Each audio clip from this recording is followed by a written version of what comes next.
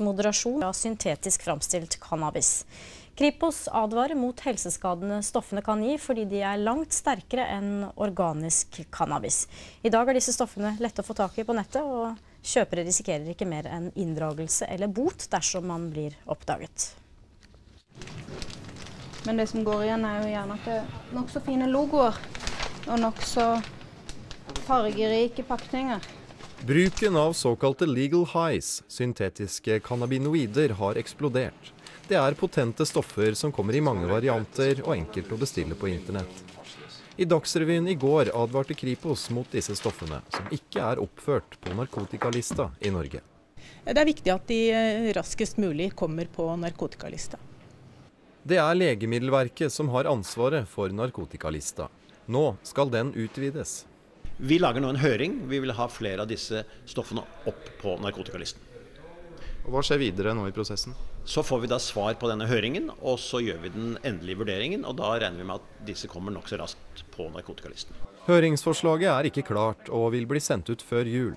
Men Dagsrevyen kjenner til at to av de vanligste syntetiske cannabinoidene er på lista, sammen med mellom 10 og 20 andre stoffer.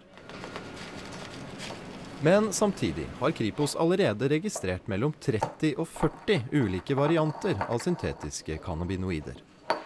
Hvis dere nå får på plass eh, flere stoffer på narkotikalista, vil det da ha dukka opp ti nye mens dere har jobba med det?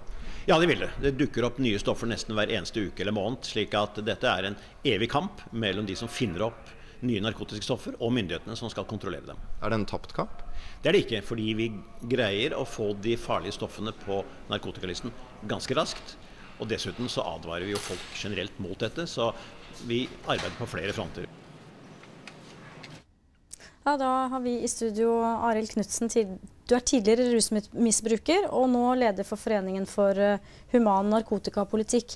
Og du mener dette med syntetisk cannabis på, på nettet er et resultat av at du ikke kan kjøpe cannabis lovlig i Norge. Hvorfor det? Jeg tenker dette er nok en eh, svært uheldig forbudskonsekvens.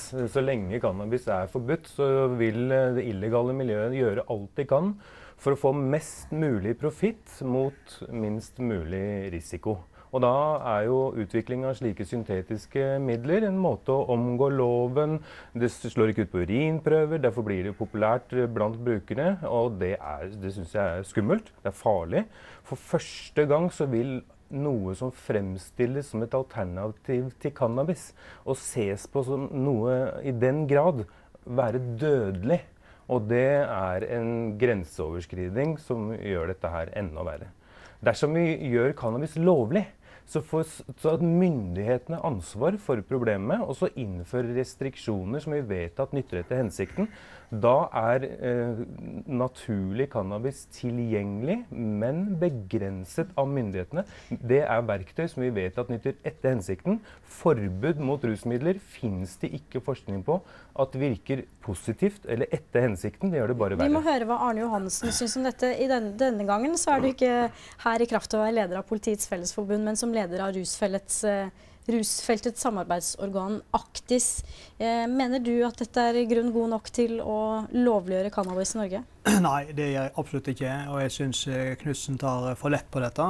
Det er ingenting som tyder på at vi trenger mer lovlige rusmiddel i Norge. Tvert om så viser det seg at den strenge narkotikapolitikken Norge har, den har virkning på mange områder. Ikke minst i et forebyggende perspektiv. Og det er kanskje det aller, aller viktigste. Det er at vi har en narkotikapolitikk som gjør at færre 16-åringer begynner med narkotika enn i svært mange andre land. Og hvis vi ser på internasjonal forskning, så er det nemlig sånn at Norge er et av de landene i Europa som har færrest 16-åringer som bruker regelmessig narkotiske stoff.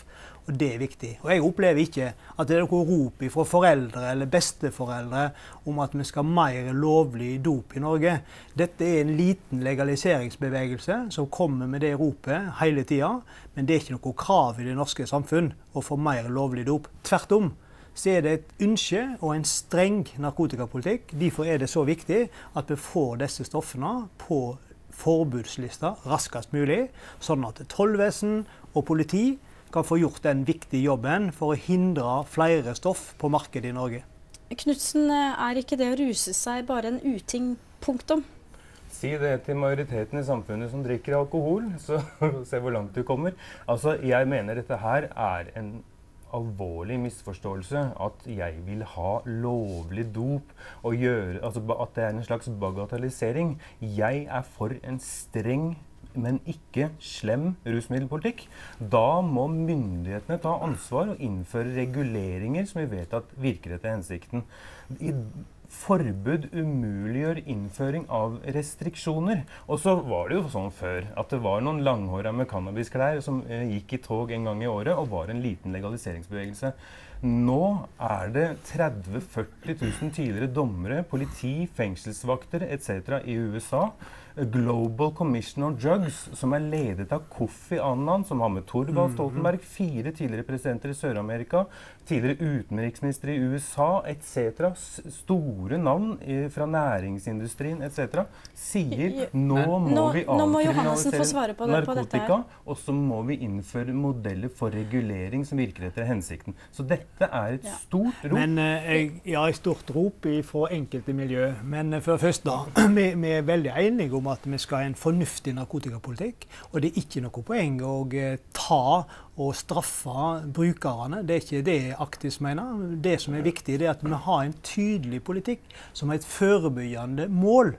Og det er altså sånn, og det opplever jeg at Knutsen ikke klarer å motsi, at vi har en vellykka norsk narkotikapolitikk når det er kun ett til to land i Europa som har færre 16-åringer som begynner med narkotika. Men, men hvordan, hvordan, foreslår du da å få bukt med problemene med syntetisk cannabis f.eks., som Nei, du får kjøpt på nettet? Det, det, aller viktigste nå det er å få dem på forbudslista, som det òg var i oppspillet til denne debatten, sånn at tollvesen og politi har mulighet til å stoppe dette ved grensa.